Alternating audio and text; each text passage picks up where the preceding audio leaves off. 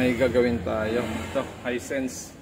Ah, 50 inches. Ang problema nito ay sabi ng may-ari, pag ginagalaw daw yung saksakan dito sa likod, yung saksakan ng AC input niya dito sa likod ay nagkakaroon siya ng power. Ayan. Umiilaw daw ito. So try natin galaw-galawin. So hindi siya umiilaw ano. Okay. So nakasaksak na 'yan. Ayan, nakasaksak na 'yan sa outlet natin. Tapos galaw-galawin natin. So ang problema nito, no power. Ayaw magkaroon ng standby power dito. Okay, buksan natin. Ito yung model. Ayan. Hisense 50. So unang sira ito. Yun, sarado pa yung silyo nito, no? Unang sira niya. So, sabi ng may-ari, pag ginagalaw-galaw daw dito, nagkaka-power daw siya. So, tinry natin, ayaw naman mag-power. So, buksan na lang natin. Okay, so nabuksan na natin. Bali, ito yung power supply niya. May tikon siya. Yan, ganito naman yung tikon niya.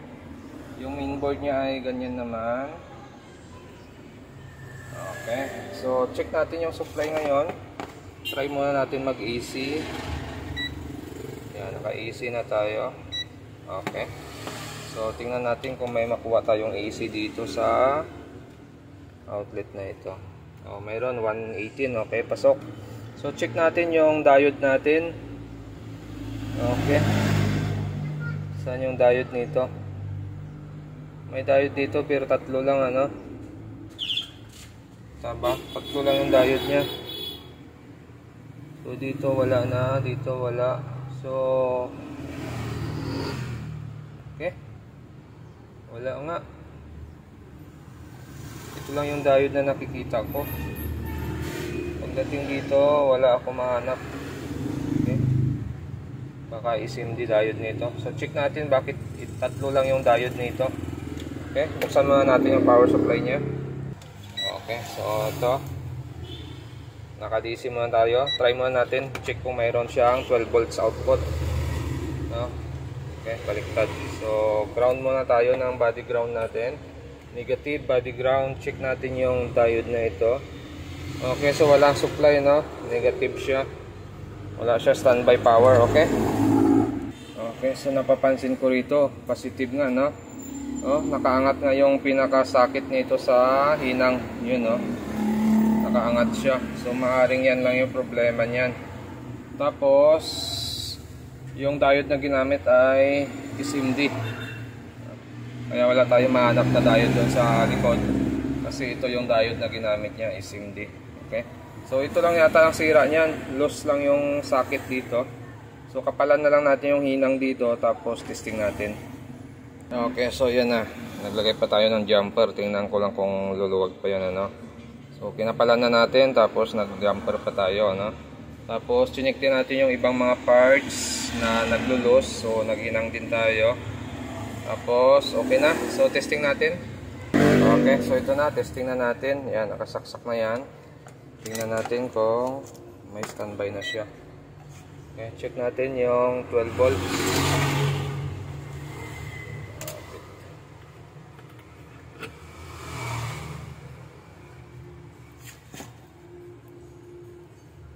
volts. Yun, mayroon na siyang 12 ano. So, ayos na, may power na siya. So, ibig sabihin yun ang talaga ang problema niya. Yun no, may standby na siya dito. Power on natin. Yun, green na siya, asol. At nag-backlight na siya. Yun no. Okay, so yun ang problema niya. Loose lang yung kabitan ng socket. Yan, naka-EB na siya. Okay. So, sasarado lang natin to Tapos, ayun, may tama. Meron yata LCD nito. Parang may mga guwit. Ayun, no, may guwit. Kita ba? Okay. Lagyan natin ng video. Okay, final test natin itong ginawa natin. Ha? So, swerte. Swerte talaga pag ganito mga sira.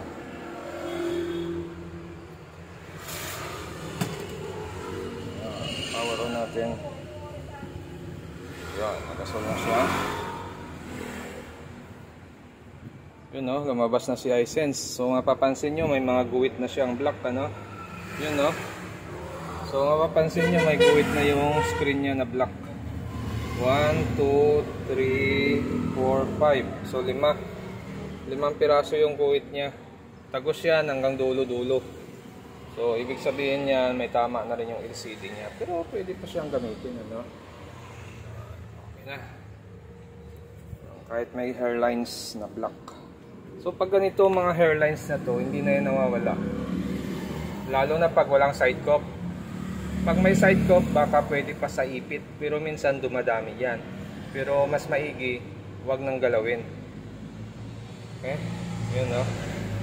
Kung walang side cup naman yan, ah, negative na. Hindi na talaga nawawala yan. Walang remedyo doon pag walang side cup. Okay, so hanggang dito na lang yung video natin. So yun lang ang naging problema nito. Loose lang yung power supply natin or doon malapit sa socket niya. Siguro laging nauuga kaya nag-loose yung hinang doon.